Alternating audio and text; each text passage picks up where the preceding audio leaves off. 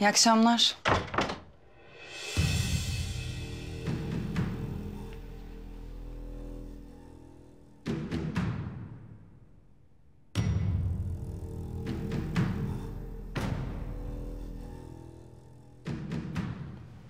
Ne oldu? Niye sustunuz?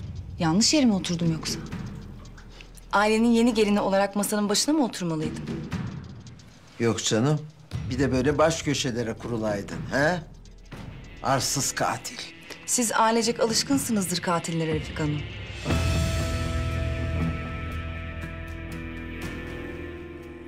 Hatice, maviye de bir tabak getir. Ha oldu baba ya. Bu kız az kaldı Ali abime adres değiştirtiyordu. Şimdi oturalım onunla aynı sofrada yemek yiyelim öyle mi? Sana kahve de yapayım mı? Yemekten sonra bir keyif yaparız. İsmet, Vallahi kusura bakma baba.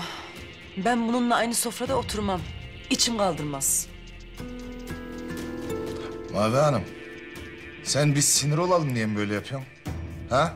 Bak biz Ali gibi saf değiliz. Sen bunun gözlerini kapamış olabilirsin ama lakin ki bizi kandıramam kızım tamam mı?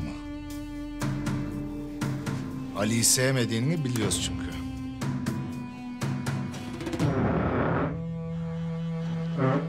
Vallahi sizin ne düşündüğünüz benim umurumda bile değil.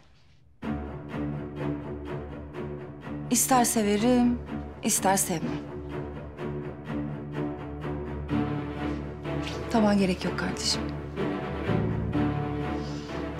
Ben sizin ekmeğinizi yemem zaten.